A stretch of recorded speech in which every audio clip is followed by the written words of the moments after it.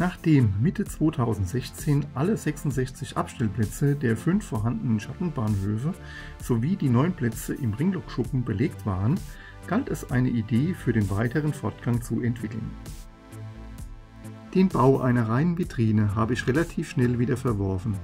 Man ist dann meist zu bequem, die Züge auf die Anlage umzusetzen. Nach Überlegungen wie ein Loklift oder ein Paternoster wurde relativ schnell klar, dass eine Vitrine mit Gleiswendel am besten geeignet wäre. Hier nun ein paar Zugausfahrten. Die Züge werden von WinDigipad aus gesteuert. Freie Plätze werden sofort wieder durch Nachrücken belegt.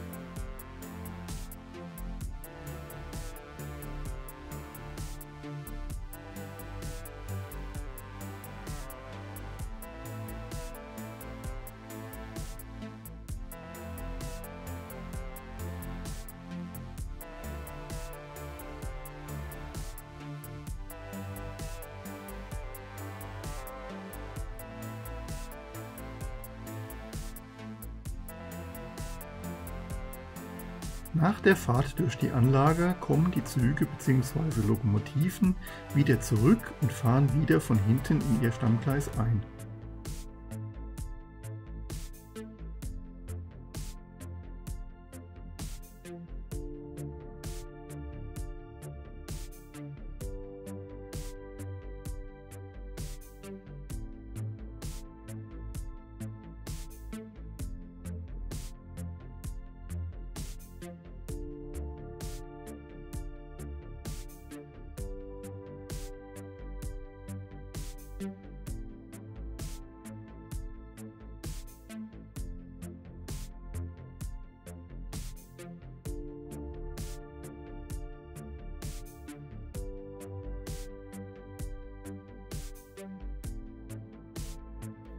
Hier sieht man nun, was sich hinter der Vitrine in den beiden Gleiswändeln und dem Übergang zur Anlage tut.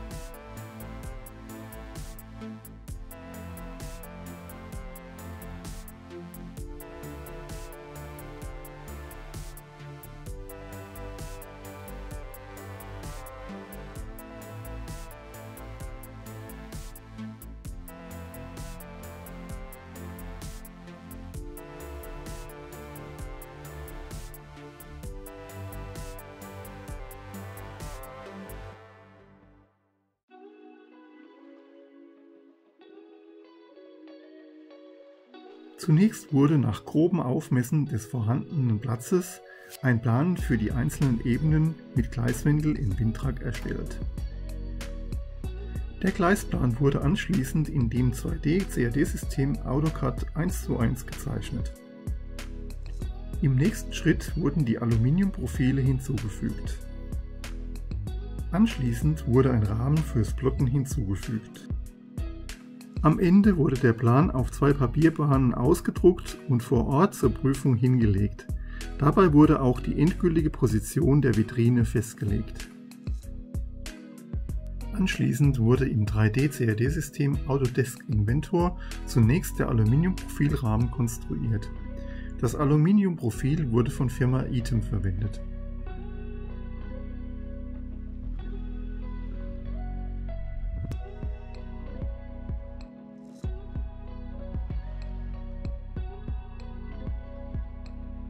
Im nächsten Schritt wurden die Verkleidungsbleche hinzugefügt.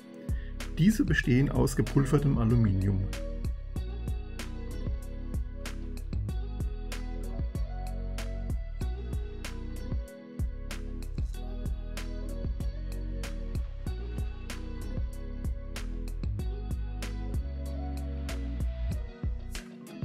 Danach wurden die Auflagerahmen aus eloxiertem Aluminium und die Böden aus Polycarbonat eingefügt.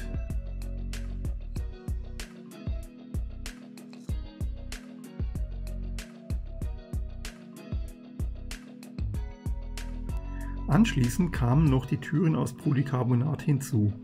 Hier sind nun nur die Einlegeböden für den derzeitigen Ausbauzustand mit acht Ebenen zu sehen.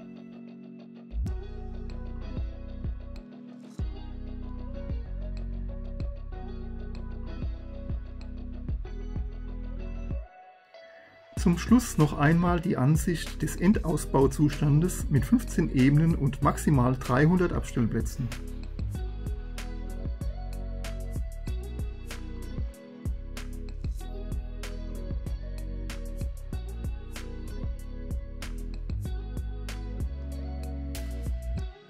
Nachdem der Platz für die Vitrine feststand, wurde dieser im Gleisplan nachgezogen und der Anschluss an die Anlage geplant. Im Oktober 2017 war es dann endlich soweit. Das Material war geliefert und der Platz soweit leergeräumt. Zunächst wurden die Aluprofile montiert.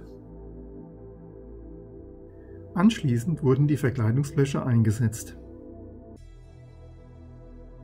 Danach erfolgte die Montage der Auflagerahmen und der Einlegeböden. Nach der Montage der Pfosten konnten die professorischen Abstützungen entfernt und die Türen montiert werden.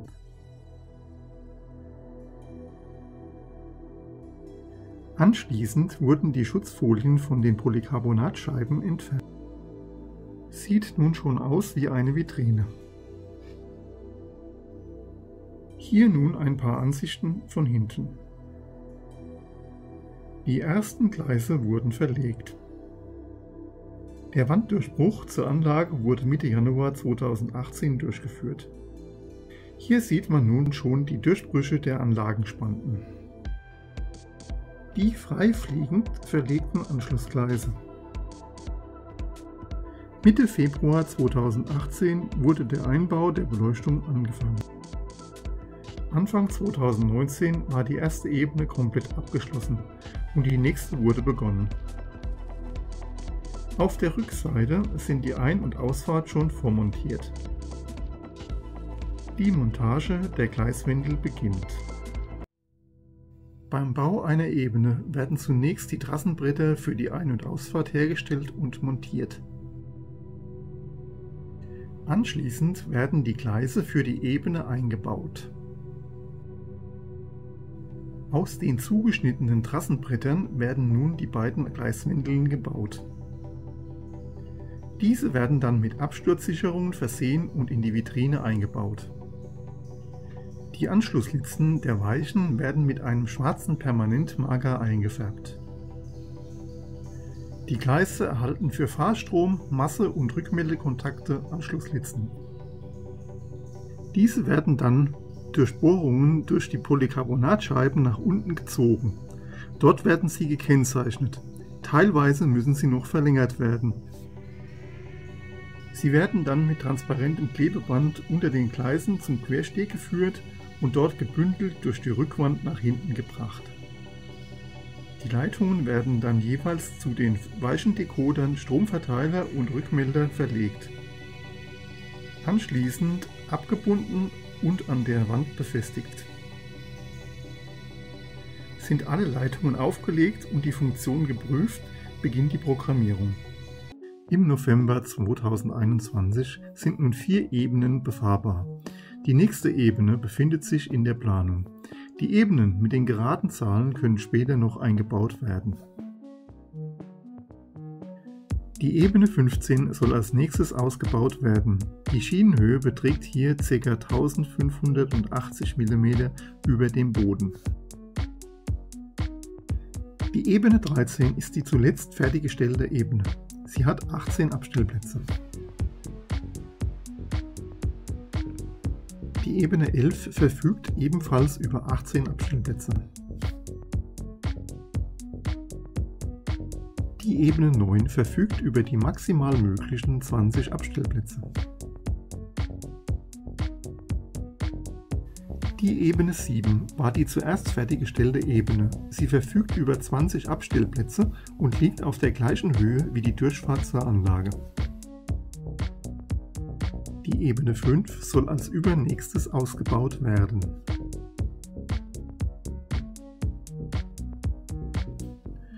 Die Ebene 3 dient zurzeit als Abstellfläche.